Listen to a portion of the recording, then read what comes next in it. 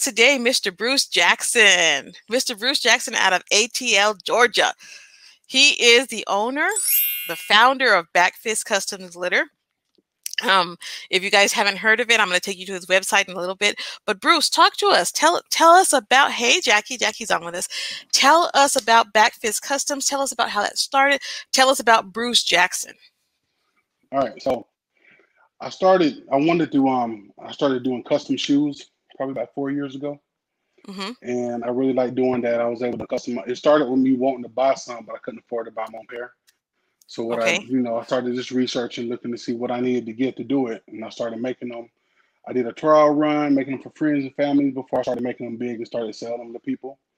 So I got to the point where I was making them for celebrities and professional football players, things of that nature right? And I think the most someone ever paid for a pair of shoes was a thousand dollars. No but, way. Yeah, thousand dollars. But the problem here is it takes a lot of time to make these custom shoes, right? Um, like I could I could easily spend a week and a half on a pair of shoes because I'm trying to get every little thing right and every little thing perfect. You know what I mean? Mm-hmm. So one of the one of the customs I was doing was glitter shoes, where someone wanted some shoe Air Force Ones or high heels or if they wanted to be Timberland boots, all one color glitter, multiple colors. You know, I did some Wonder Woman uh, designs before with glitter. Wow. So one of the glitter vendors just said, "Hey, why don't you just sell the glitter on your own? You know, you could just sell it on your own." So they kind of planted that seed, and I said, mm, "Okay, I guess I'll, I'll try it." You know, so I tell a lot of people I never really set out to just say, "Hey, I'm going to sell glitter and be this big and all this other stuff." I never even knew it would blow up and be that big, right? I, I kind of feel like it was something God just kind of threw in my lap, and then from there it was on me to manage it and make sure I take care of it, and you know, take you know, take care of the gift that was given to me. So started from there. I literally started at my table, just getting a couple of colors here and there, getting the exact size people wanted. Then moved to my garage. Now moved to a big retail space, about three thousand square feet. That's big. That's big. So, okay, so let's take it back. Let's take it back to you were doing custom shoes. You said custom, and you you mentioned glitter. So, like, what what made you? Okay, so you wanted shoes, is what you said. You wanted a pair of shoes. Mm-hmm. You couldn't afford them. Mm-hmm. How did you just pitch yourself to people? Like, okay, well, I, you know, I can make these for you for a certain amount or whatever. So the thing, what makes it easy nowadays is I don't think I ever pitch myself to people. It's the mm-hmm. reviews. Mm-hmm the marketing, the pictures that they see, pitches it for you, right? So people see, they see the pictures that I'm putting up on Instagram. They see how the custom shoes I'm making. They come to me and they're like, "Hey, I got a picture right here. How much would you charge to do these? Or I want these Adidas right here, but I want them purple fading to pink. How much would you charge to do that? You know, and then we kind of work it out from there. I never really, I, I mean, I made some business cards in case I need to leave ideas with people, but I never really went out seeking seeking those customers. They came to you because you you had a good product, you did something good. So right, or word word of mouth, or you know, word of mouth. Like the people, for, for instance, who's interested in custom shoes, they get they'll get on Instagram and follow every custom shoemaker page they can. You know what I mean? Mm-hmm. From there, mm-hmm. they'll kind of buy reviews and the pictures their way, who's good, who's not, um, who's got the best prices, whatever, and they may reach out to everybody. You know what I mean? You never really know. Yeah. So okay, so because Jackie's asking, so Backfist is only four years old, then, right? Mm-hmm. Well, that was I mean, back, Backfist Customs is three years old. The glitter piece of it is three years old. So okay. 2017, that's when I started doing the glitter piece of it. Okay. And you just taught yourself? Did you just look and say, you know what, I'm just gonna I'm gonna figure out how to make these shoes? Or did you look, mm-hmm. did you you just did it yourself? You just experimented? just, um, I was watching YouTube videos, and then I think the the main thing is trying to do it for yourself and family. I didn't jump right into mm-hmm. taking orders and trying to make money. Right. Um, like I like my, I got a cousin that makes he makes fun of me all the time because he's like, man, those first shoes you gave me a long time ago were so slick on the bottom. I was painting the bottom of the shoes and everything. You know what I mean? Yeah. not yeah. not knowing that I don't need to do that or it's not gonna last or whatever. I'm just painting it all up. yeah. And then I said, oh, now the shoe looks glossy. That don't really look like it's a factory shoe like that. I need it to look matte. Oh, I need to change this and don't do that, you know. So it's all those little things you learn along the way. And, and one thing that I did, go ahead. One no, thing I did to short to shorten the learning curve, and I try to suggest this to people now, and I don't know if they think I'm just after their money or not, but I didn't want to take all day or years experimenting and failing. So I mm-hmm. found people that was already good at it, and I asked them how much would they charge me to teach me, because I already mm-hmm. know they have the experience. I know they put the time in. So I'm like, listen. So I had about three or four mentors that I would go to, and I would say, listen, I've got patent leather, but I want to paint it. What do I do? Or how do I prep it? What do I need to do? What should I use? Where do I get that from? You know, I'll give you a hundred dollars or two hundred dollars if you can make sure I do this all the way through. You know, and I would write my notes, take notes, and make you know, keep up with everything I'm actually going what they're saying. So what you're telling us is that don't be afraid to spend money with people who already got it to yeah. to help us improve ourselves, basically. Yeah, I mean, I feel like that's the key. You, like you have to invest in yourself. You know what I mean? If you don't, you're either going to invest in yourself or like some good teachers and coaches to make sure you're doing it right from the beginning, mm-hmm. or you're going to have to invest in the time and the failures, and there's still a lot of money wasting you're using. You know what I mean? Yes. Most, most importantly, is time. You know. Right. The time is because you can't get that back. You can't get that back. And, you know, that's right. time that you could be using to be more productive, to do things better from the beginning. Right. Like I have no clue how to sew, but you just said you're in a sewing space over there. So I, I assume you know how to sew. So mm-hmm. I wouldn't take, I wouldn't go on YouTube and look at some, I mean, I'm sure there's YouTube videos that say, here's your list. This is all the stuff you need to get. I'm not going to go out there and buy all that stuff and then sit here myself trying to figure out what to do and thinking that I got it all figured out. Then I got holes on my material, you know, different stuff like that. Yeah. or I can say, hey, I think she knows how. Let me see how much she charged me. You know what I mean? Right. And I like that. I like that because you're not afraid to go take your stuff somewhere else because you know it's going to benefit you. Good job. Right. Good job. I like yeah. that. So let's talk more about the glitter then, because that's everybody's right. favorite thing. And people think, you know, that's what you're known for. Custom glitter, custom glitter. What I mean, wow. How did you go from your kitchen table, like you said, you're at the table, now you got this 3,000 square foot place? What is it stocked with? I mean, man. So, so I really, how I made the transition, I went from the table to the garage to the, to the store, right? Mm-hmm. But one thing I wanted to be big on to set myself apart was I didn't want to run out of, of my inventory.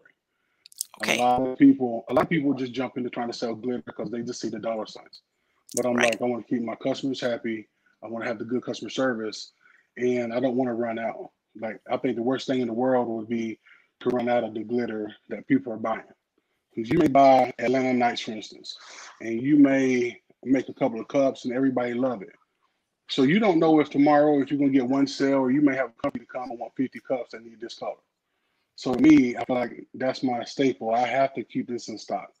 So I started making, ordering and making like pounds at a time. Like certain mm-hmm. glitters, I might have 80, 90, 100 pounds of.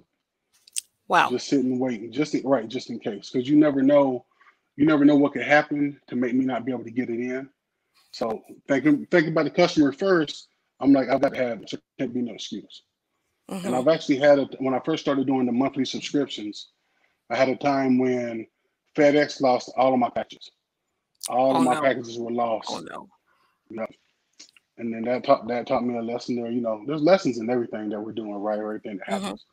But that, that taught me there that I need to always have inventory on stock. I need to be able to replace all the stuff that I've got going on in a fast way. Mm-hmm. Because, mm-hmm. you know, and you'll see people say, Oh, well, I'm sorry, y'all, FedEx did this or UPS did this. But I know the customer don't really care. All the customer knows I paid for this. Where's that? You know Where's my mean? stuff? Where's my stuff? Yeah. yeah. Right. And you know we're getting a lot of comments right now to Bruce in this end, and they're telling me you do that. Says which what you do, and I love that. Definitely sets you apart. So you're appreciated. You're known. And I'll tell you guys this: if you guys don't know Bruce, I mean, this is my first time meeting him, talking to him face to face. But I've, you know, I love me some cut back fist customs glitter, you know, and and even the molds but he's got the best customer service. I'm not playing. I'm not playing. I mean, Bruce will go back. He will let you message him and be like, okay, let me just add that to your package real quick. You know, he'll throw in something every once in a while. He's just got really good customer service and he doesn't have to. He doesn't have to because, you know, he's got a lot of, he's, he's even got a Facebook group. Tell us about your Facebook group. Oh, the Facebook group is huge. I think now we got like 29,000 people in there. Yikes. But, you know, so the Facebook group is really set up for everybody to see what everybody else is creating because some people aren't creative to be able to really just make stuff on their own. Mm-hmm. So I don't really want people in there just stealing designs or use somebody's design for inspiration. You know, so if you're looking for ivory or you want to see what this ivory glitter looks like, you can look in there and she'll be able to search and say, oh, okay, I see what they did with it. I could kind of do that and then make this change or do whatever. You know what I mean? That's what I kind of mm-hmm. hope people will do with it. But you know, the Facebook algorithm has changed a lot, so yeah. it's not as active as if it's twenty nine thousand people in it. So one thing that happens, and I'm realizing now, if you don't keep being interactive with your group, with the group, right, it will slowly just die off your timeline. You won't you won't even really realize it because people yes. just sign into Facebook and they just scroll and they're just looking at whatever it is they see. So mm-hmm. they don't even really realize your group or whatever that other group that they usually look at kind of fell off if they're not in there commenting and saving posts and sharing posts and stuff like that. Right. So that's one way we we can support you and other groups too, right? Is by making sure yeah. that we interact with the posts. Yeah. Uh, even if we don't buy anything, just be in there, be active, right. make yeah, comments. I understand there's a lot of people that just kind of want to sit back and watch everything else, don't want to say anything, but it still it still helps if you like a post, if you share it, if you comment on it. Now, some of those interactions outweigh others. If right. you're sharing a post or commenting on it, that's heavier than just liking it. But I believe if you save the post, I believe that's the biggest. This, especially on Instagram, when you save it, man, mm-hmm. that's what that's big right now on Instagram too. I wanted to just backtrack a little bit, Bruce, because you talked okay. about your um the subscription box. Okay. And that tell, tell us about because I have some stuff here. I was going to show everybody how much I appreciate and love your subscription box. So just okay. just tell us a little bit more about that. So the subscription box when I first when I first designed it, I was thinking I was saying it was either going to be four one ounce glitters or maybe six or seven half ounce glitters. And I was thinking about the half ounces because I was saying what I may want to make a theme, right? So like the uh-huh. colors that's coming out now, that's about to be shipped out, I think next week. Those were themed around the gingerbread house. So I've got the colors that you can make a gingerbread cup if you wanted to, but I'm going to include some non-fabric adhesive in there. That way, if they want to glue like glue anything else on it, or if you want to use that to make the whole cup with it, you can. But I started adding so many other freebies to it that the freebies started being expected. You know, mm-hmm. so now that the four one ounce glitters kind of changed to five one ounce glitters plus an extra. You know what I mean? Yeah. You know, and it's yeah. okay. I mean, I was like, well, it'll increase the value of the glitter also. So, I mean, the value of the subscription. So, that's kind of what I'm shooting for now when I'm looking for something. And so I like that you mentioned the theme thing because that's what mm-hmm. I think I love the most. I think I've done three subscription boxes, and mm-hmm. the, the theme is what really drew because I'm a theme I'm a thematic person. I love themes. Somebody's asking what's the name of the group? It's Backfist Customs Glitter, right? Backfist Customs, all one word, then glitter, then the word creations. Yes, Backfist Customs Glitter Creations, guys. Right. Make okay. sure to answer all four of the questions. So we answer the questions, guys. Of, yeah. Yeah. Because a lot of people answer one or two, or someone to refer them. But you know, we want to make sure that they're answering the questions, whatever, so we know, okay, they know what they're getting into and all that. You know. Yes, and that's important for any group, guys. Make sure you answer the questions. That's just respectful too. You know, we want to make sure that we're doing what we, you know, our due diligence and making sure, like Bruce said, you know what you're getting into, um, following the rules, stuff like that. But I wanted to show you guys a couple of su subscription boxes that I had gotten. So this theme, and I was like just blown away. Look at these. Whoops, find my camera. Can you guys see those? These are so cool. This was a flower theme, guys. This one, mm-hmm. so he had Forget Me Not glitter. And then he had in the same box, Lucky Charm glitter. But then he had um, what is this one? The Calla Lily. Mm-hmm. And then this one, my favorite, the hydrangea with the different purples. Isn't that cute? I mean, and that was a whole thing. There was something else, and then what else? You had put something else in that box too. I can't remember, but he it was a whole a whole theme of stuff. And then my first one that I got, and this was my favorite. I have to show you guys. We only have a few minutes left. This one, I keep losing my camera. These were the shaved ice. This was in the summer. Oh my oh, goodness. Yeah. After this, I was going to the store every day. People have still been asking, they've still been asking about those colors these yeah you put them together you can do a theme but you don't have to use them together. You can take them out use them with other Backfist glitters and stuff but it's it's really cool how you can just get a whole a whole theme in a box mm-hmm. and you're ready to go. And it's not just the glitter like he said one box he sent us the straws to go along with the cups as a freebie two boxes of straws with the straw cleaner. He sent us some um, nice and thick from counterculture um, mm-hmm and you send us some quick coat from just different things. So yeah, it's it's yeah, a very valuable. I think the the most valuable thing I've added for I think would be like the little measuring tape people can use. Okay, I, okay. I feel like I go around measuring everything all day, every day. So the other day, I have to tell you this, in because it's funny. My husband was hanging the mirror. I needed him to hang a mirror in the house, and he's mm-hmm. like, "Okay, well, it's a big mirror." He says, um, "Well, I need a level." So he goes, "Do we have a level?" I go to my craft room real quick in my drawer and I get out my because Bruce said levels, right? He's all like, "If your if your stuff isn't coming out right, it's tilted. It's because you need to level it. Use this level." Mm-hmm. Little B level. My husband's like, "Okay, nah, go get me a real level from the garage." With even things like that. Yeah, you're you like, know, you're like, well, this will not work. Okay. Yeah.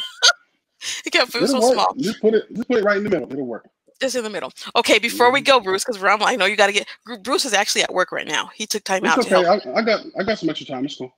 Okay, tell us about your name, Back Fist Customs, because I like this story. Tell us about Backfist. Bam, okay, Backfist so, Customs.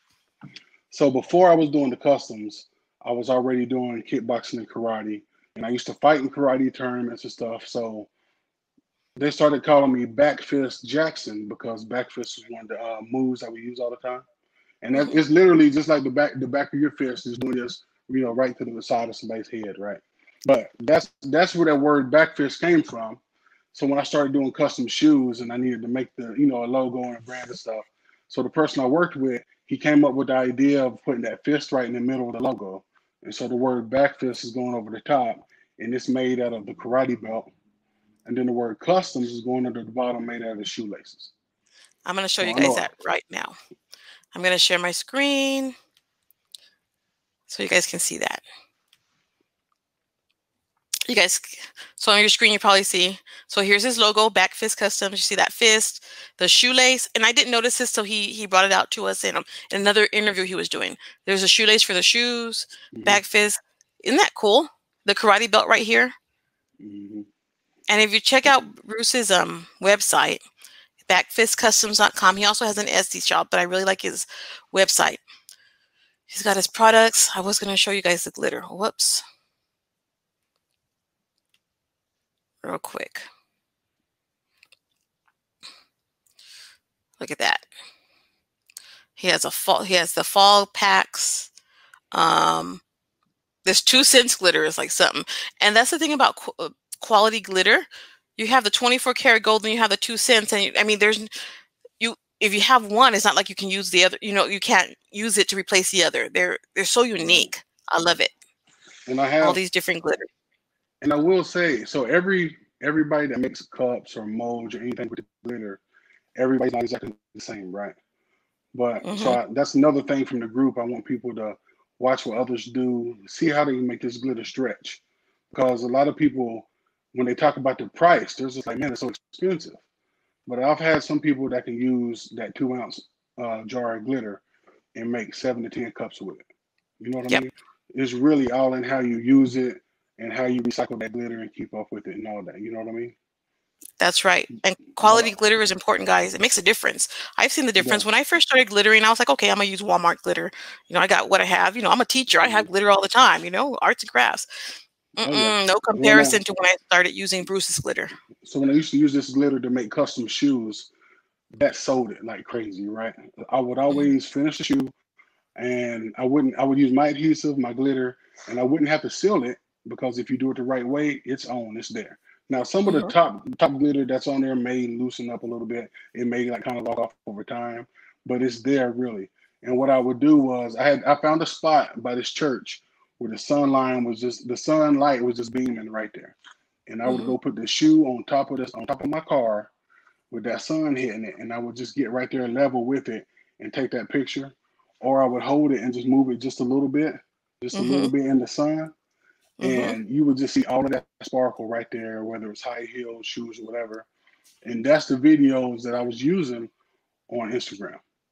And okay. it, it, it was blowing up. Like customers were coming from everywhere. So before I ever started selling glitter really hard, I had 20,000 followers already on Instagram. Yikes. I, just, I got that whole account deleted because of trademark problems. You know, yeah. I was doing a lot of custom shoes with team logos and things of that nature. So if anybody ever wondered, that's why I don't allow a lot of that now in the Facebook group because I realized as I got as I get bigger, I have to take care of the company and you know I have to watch out for things like that because it might not be that they catch you, somebody else could turn me in. You know, it's just as easy mm-hmm. for you to go over here and say, "Hey, he's got this Alabama logo up," and it was I had a pair of Alabama shoes from about three years ago and a pair of Miami Hurricanes.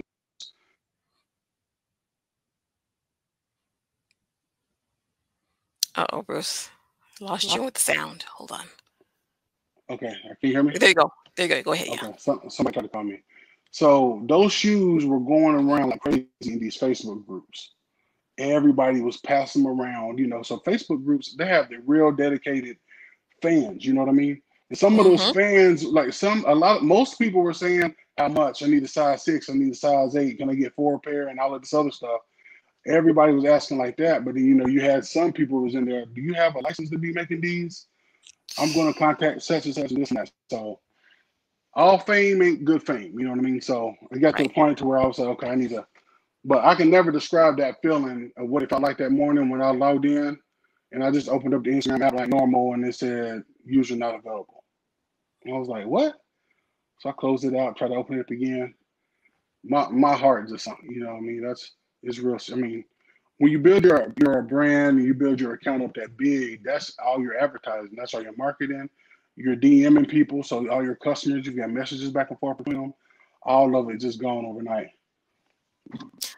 So that, and that, like you said, everything's a lesson. Everything's a lesson. You know, there's some chances we're willing to take, but there's some chances we shouldn't take. You know, so, and so especially now, we learn. We learn. We well, know better now. Yep. So now my Facebook group, I don't allow any trademark stuff. Or I'll say before it gets to that point where you're putting that on, go ahead and take the picture then, post it then. Right. And I feel like that kills a lot of the group activity, but I'm like, that's be better than me trying to log in one day and the whole Facebook group be gone. You know what I mean? Right. So, and that's where a lot of, you know, so see, learning from Bruce, that's where that's one thing I learned before I um, open my group, you know, no trademark stuff. And it's not because I don't like it. You know, we all like it. And we like that we can make, make it at home on our own without having to pay all the dollars, right? But you know, there's there's got to be a line somewhere. So yeah. appreciate that, Bruce. Where can we find you? You can find me on YouTube, um, Backfist Customs Glitter. Um, you can find me on Instagram, find me on Facebook. That's my main place. Now, a lot of people don't understand that I have two different websites. Mm-hmm. I have the website you just showed, then I'm also on Etsy. And a lot of people don't want to break away from Etsy. I guess they feel more secure because on Etsy, if something goes wrong, you can always kind of dispute it or anything like that. Mm-hmm. So I would like for people to, to spend more money or buy more on the website because Etsy charges so many little fees to me, to the seller. But either way, either way, I'm happy to support them regardless, no matter how they come in.